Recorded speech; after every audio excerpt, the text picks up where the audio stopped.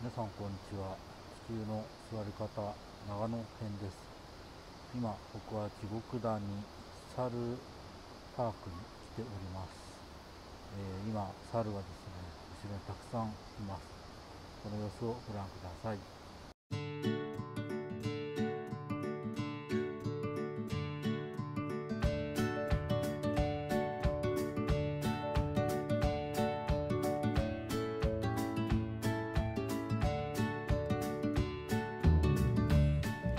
地獄谷野苑公園は温泉に浸かる猿を見ることができる場所として知られています。猿が温泉に浸かるのは主に冬だそうですが夏も猿を見るのに楽しい場所です。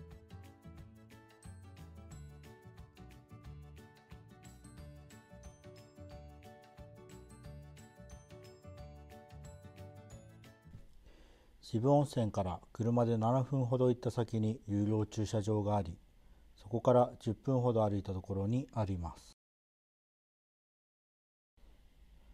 上林温泉に無料駐車場もありここからは歩いて35分ほどです。渋温泉を通る駐車場までの道は途中道が狭いので運転に注意が必要です。また冬は通れません。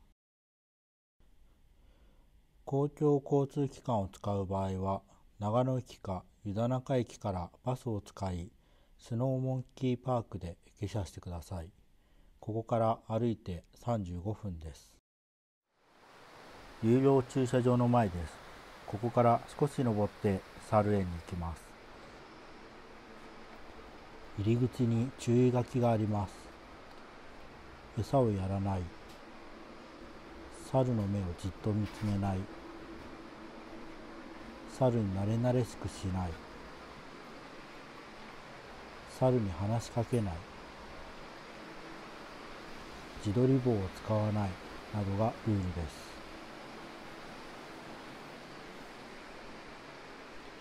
それでは入ってみたいと思います。第一猿発見です。と思ったらその先に驚くほどたくさんの猿がいました。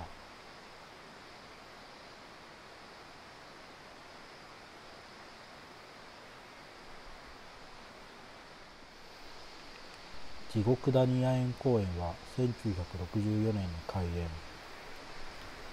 開園当初から猿と人間の共生を観光客に見せることというコンセプトを挙げ野生のニホンザルの生態を間近で観察できる場所として知られています。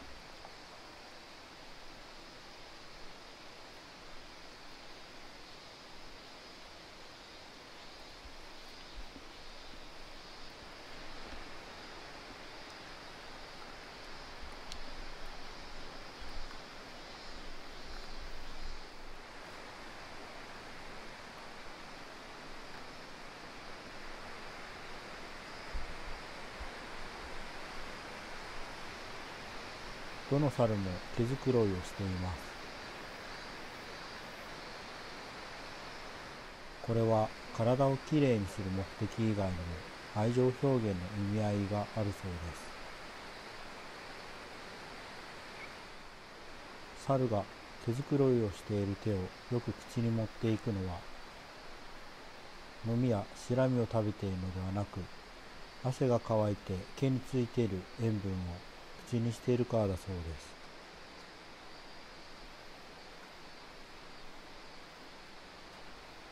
また脳内にエンドルフィンが出て多幸感をもたらすという説もあります。見ているこちらも多幸感を感じます。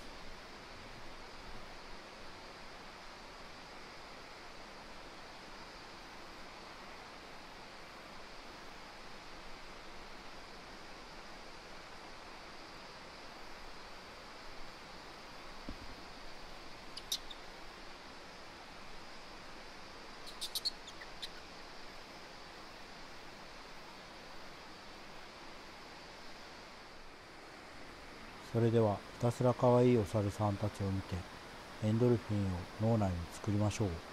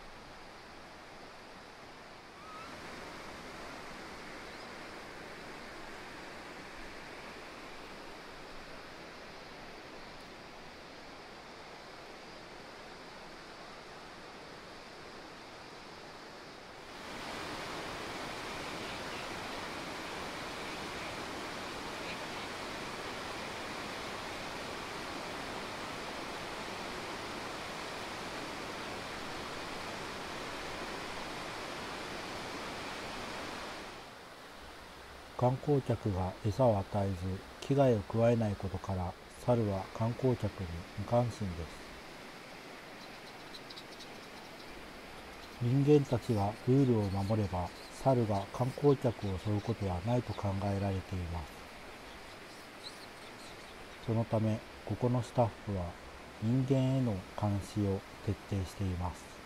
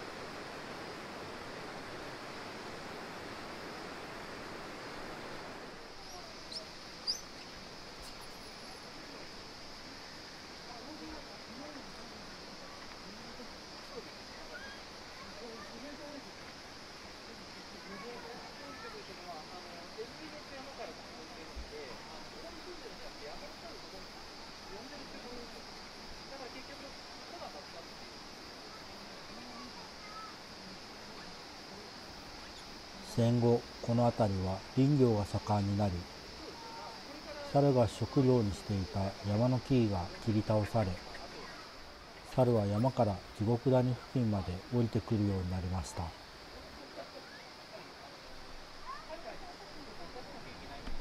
そして猿はこの湯田中温泉付近のりんご畑を荒らすようになったそうで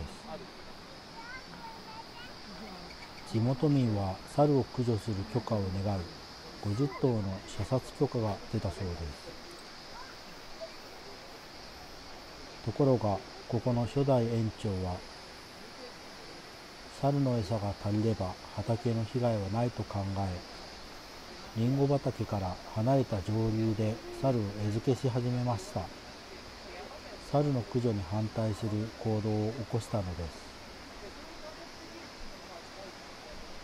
そして3年がかりで警戒心の強い猿の群れを手なずけ1964年地獄谷野猿公園が始まったということです。入浴するのはメスと小猿がほとんどで風呂に入るオス猿はほとんどいないそうです。オスザルは群れを守るためにすぐに行動できる体制をとっているということと毛が濡れて自身の体が小さく見えるのを嫌うからだと考えられているからです。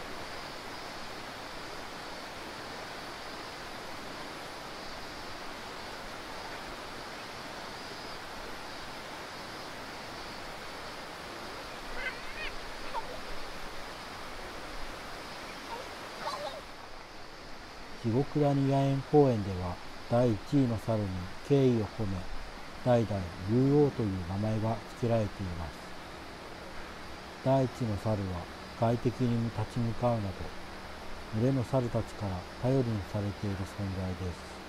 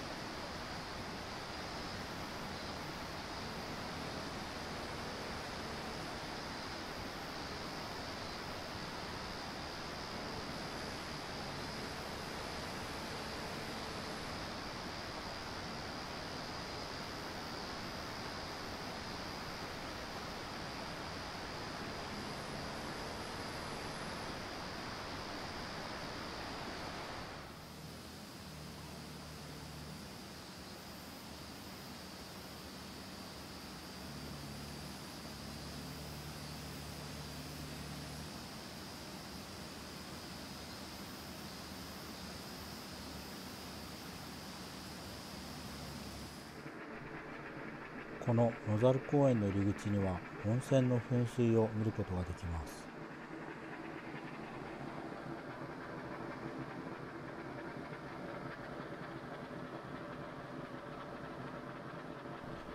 また入り口に宿もありましたので冬に泊まり猿が温泉に浸かるのを眺めながら自分たちも温泉に浸かれるかもしれません。